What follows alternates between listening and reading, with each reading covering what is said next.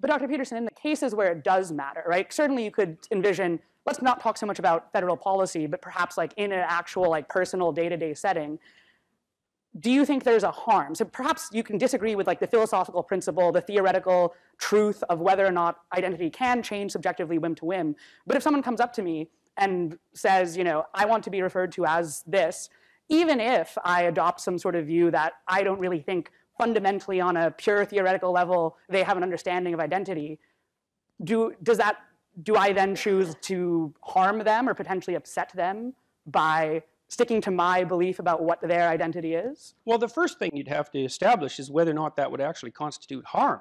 Okay. That's the claim.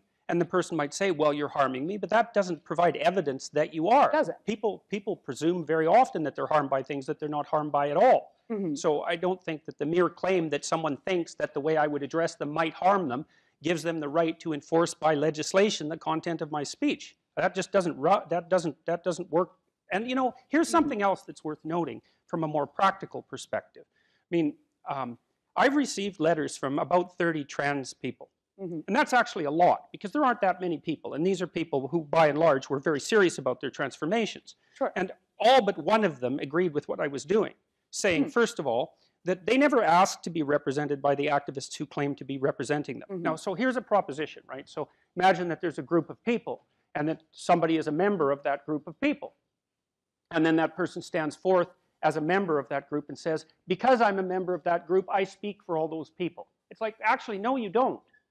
The mere fact that you're the member of a group does, doesn't give you any right whatsoever to speak on behalf of that group. Mhm. You, you need to have legitimacy as a representative. And I don't, I think that, that you can hardly imagine a more pernicious uh, example, say, of racism than to presume that if someone is black, they speak on behalf of all black people. Mhm. All black people are homogenous. They all believe exactly the same thing. Therefore, if you've talked to or met one of them, you've talked to or met them all. With respect, Dr. Peterson, I think I'm referring to cases where the actual people in front of you are telling you, though, that they want to they want to represent themselves a certain way, right? So we can talk about whether or not the activist community is accurately representing actual communities, but I'm wondering.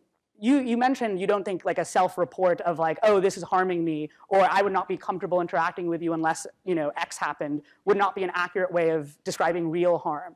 Are there better metrics we have for real harm? If someone comes up to me and they say, oh, you know, when th- they- they're feeling too warm in this room, we should leave, you know, do I say, ah, no, like, you don't know how warm you are. That's not something you can know for yourself. That's just a self-report. Well, it would depend on what they were asking other people to do. Mhm. And I don't, I don't believe that people have the right to, to impose restrictions on what, not so much restrictions on what I'm allowed to say, but to determine the content of my speech. That's an entirely different thing. And so if it's a matter of the legal principle of whether or not I'm free to determine Sure. the content of my speech or the hypothetical discomfort of a hypothetical person, because no one's actually asked me this yet, Okay. then I'm going to go with the freedom from compelled speech. Partly, again, because I think that the idea that the government or any other Yeah. institution should regulate the content of your speech is absolutely un, it's intolerable. I think you have a strong legal argument, right? So the government probably shouldn't mandate this. That I'm sure a lot of people might agree with that.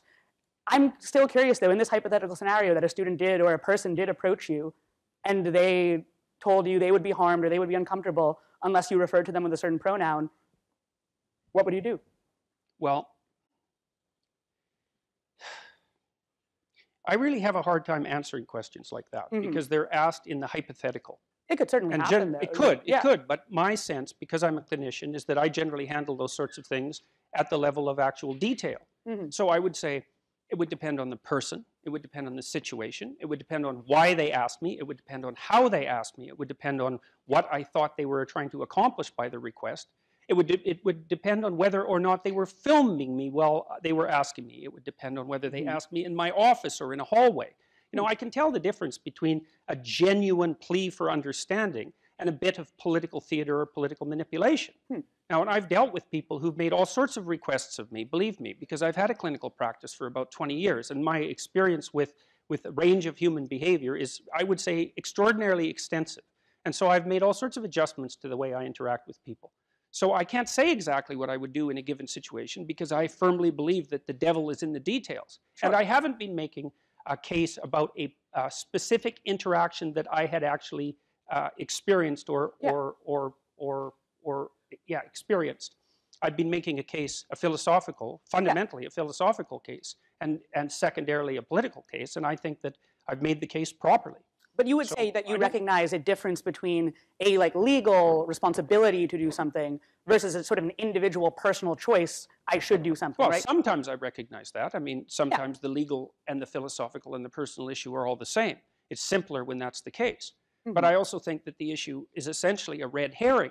I mean, look, since I made that video for one reason or another, the things that I've been saying have become quite popular and, and not as controversial as you might think. Mo- most of Mhm. what I've accrued so far has been support. Mhm. And the reason for that has very little to do with the issue of pronouns. The, the pronoun issue and the pronoun controversy is a pointer to something that's a lot larger, and that's why this issue has had legs. I'm not here because people are interested in my views on pronouns. Mhm.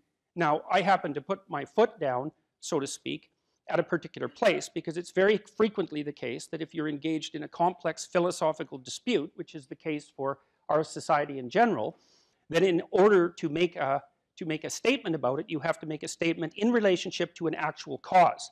So you have to draw the line somewhere. And people have asked me, well, why did you pick the pronoun hill to die on? And my answer to that generally is A, I didn't die, and B, you have to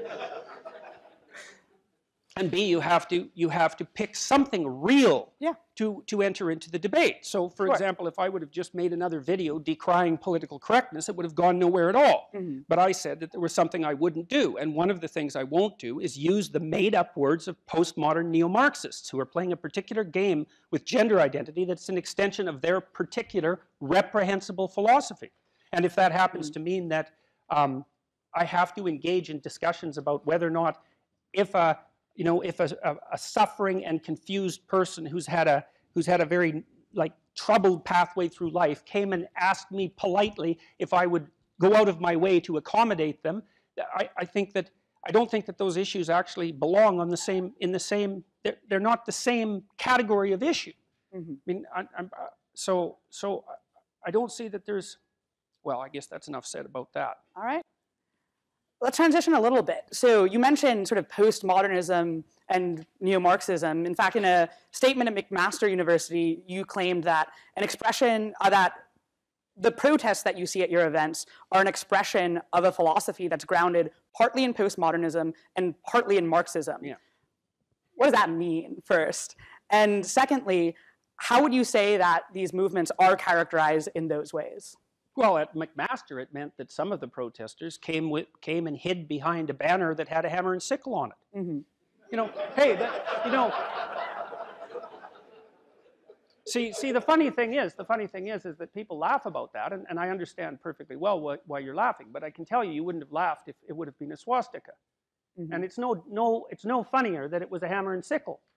You know, the, the, the, the, the, the reprehensible ideologies that are based in, in fundamental Marxism killed at least 100 million people in the 20th century, and there's still apologists. One in five social scientists identifies as a Marxist. It's like, really, really, that's really, that's really where we're going to take this, is it? After the bloody 20th century. We're going to say, well, that wasn't real communism, or something foolish like that, even though we had multiple examples of exactly what happens when those doctrines are let loose in the world. And so what, what happened in the 1960s, in the late 1960s, as far as I can tell, and this happened mostly in France, which has probably produced the, the most reprehensible coterie of public intellectuals that any country has ever managed, is that in, in, the, in the late 1960s, when all the student activists uh, had decided that the Marxist revolution wasn't going to occur in the Western world, and, and, and had finally also realized that apologizing for the Soviet for the Soviet system Mhm. uh, was just not going to fly anymore, given given the tens of millions of bodies that had stacked up. That they performed a what I would call a philosophical sleight of hand and transformed the class war into a, you know, into a identity politics politics war.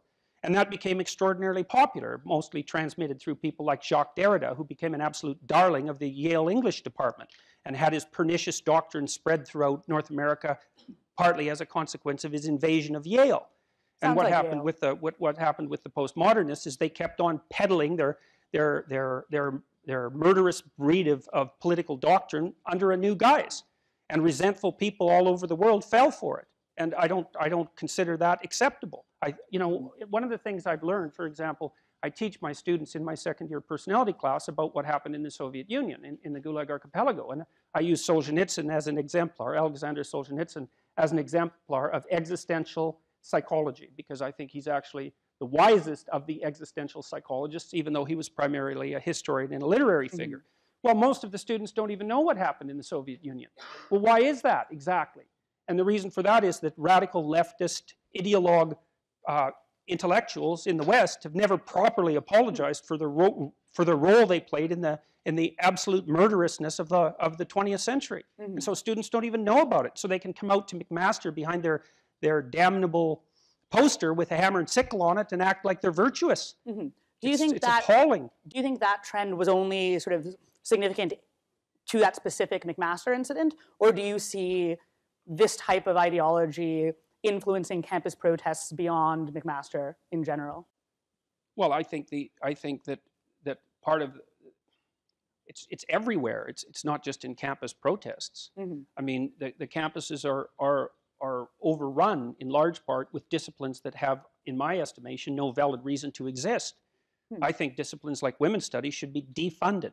Mm-hmm. Any of the activist disciplines who who hmm. act who whose primarily primary role is the overthrow of, s- of, for example, of the patriarchy, which is about as ill-defined a concept as you could possibly formulate. Mm-hmm. That it's enough that we've, we've done enough public funding of that sort of thing. Mm-hmm. We're providing we're providing full-time destructive employment for people who are doing nothing but causing trouble and So you seriously say- nothing. You would say that because you think that these departments are causing harm or could have the potential to cause harm, that university administrations should defund them, right? No, I don't think no? they should okay. defund them. Who the hell cares what I think about them? That Mhm. isn't why I think that they should be defunded at all. Okay. I think they should be defunded because what they promote has zero intellectual credibility. Their Mhm. research methods don't qualify as research methods. Mhm. Their publications, 80% of humanities publications now garner zero citations. That's not very many citations. Mhm. And it's